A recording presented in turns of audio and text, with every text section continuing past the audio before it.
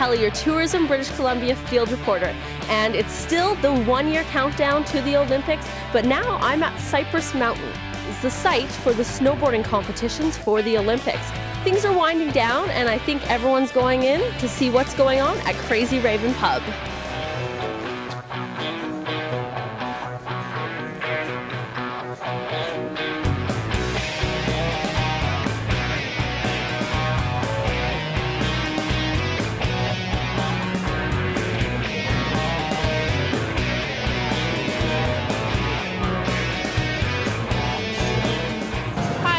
And I'm a server up here at Growley's at Cypress Mountain.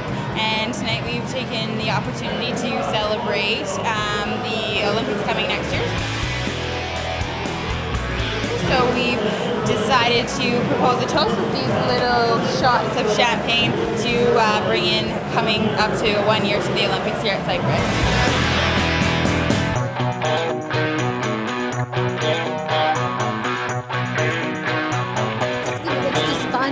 Exciting. Yeah, I've always loved being part of the show, and so volunteering, and, and I'm a huge fan of the Olympics. So being part of the Olympics is just a lifelong dream. This is awesome. Well, number one, it's the best mountain uh, of all the mountains. Uh, I mean, of course, I'm biased. I've been skiing here my whole life.